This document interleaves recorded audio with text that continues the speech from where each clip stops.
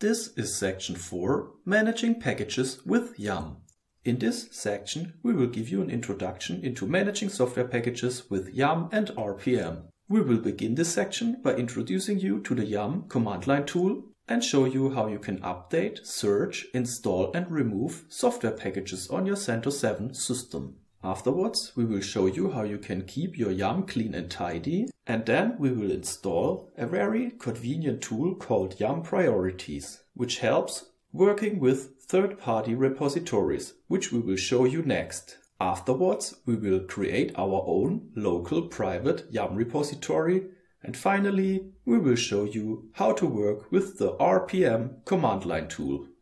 Using Yum to update the system. In this video, we will learn how to use the Yum package manager to update our CentOS 7 system. Before we can dive into the practical part of this video, we need to define some very important terms here. All software on a CentOS 7 system is distributed through RPM packages. RPM is not only a file format, but also a very important command line tool we will also discuss in this section here. Yum is the default package management system for CentOS. One of its key features is that it can talk to repositories, and this saves us from having to find and install new applications or updates manually. A repository is a remote directory or website that contains prepared software packages and utilities. Yum will use this facility to automatically locate and obtain the correct Red Hat package manager or RPM files and dependencies. Here follows the demonstration.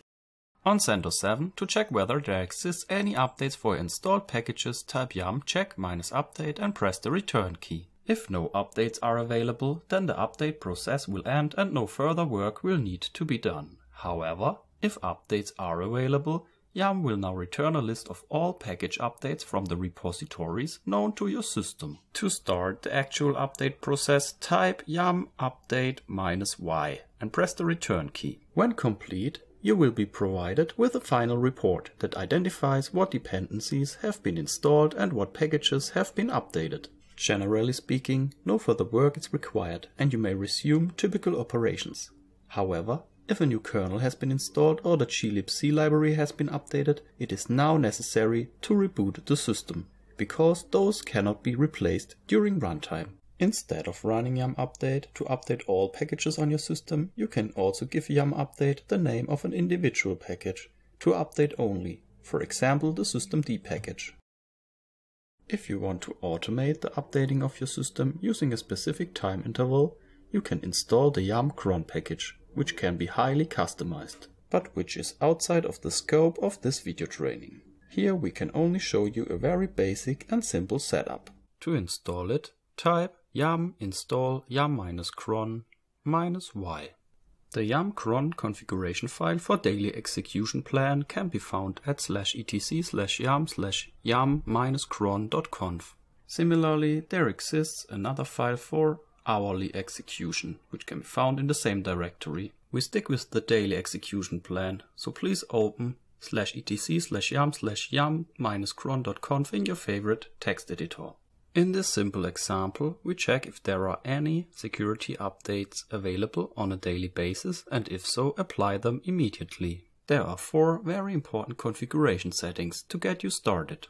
The update command which defines which update to use update messages, which tells if a message should be sent when updates are available, download updates, which sets if updates should be downloaded when available, and the most important one, apply updates, which we need to set to yes in order yum cron will work at all. In the first few lines of this configuration file, you get a list of all available update types for the update command value and a short description for each type.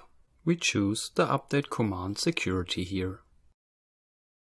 Finally, to receive a message with information whenever Yum cron performed some updates or steps, you can provide an email address here, which is divided into email to and email host. To actually start Yum cron in the background of your computer as a service and activate it, which means start it whenever the server gets started, type the following two commands. System control enable Yum cron and system control start Yum cron. With these settings, Yum cron is checking for new security updates daily and if there are some available, will apply them immediately.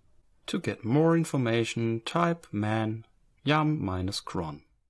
In this video, we gave you a brief introduction to the Yum Package Manager system and showed you how to update the system. You also learned how to use Yum cron to automate system updates.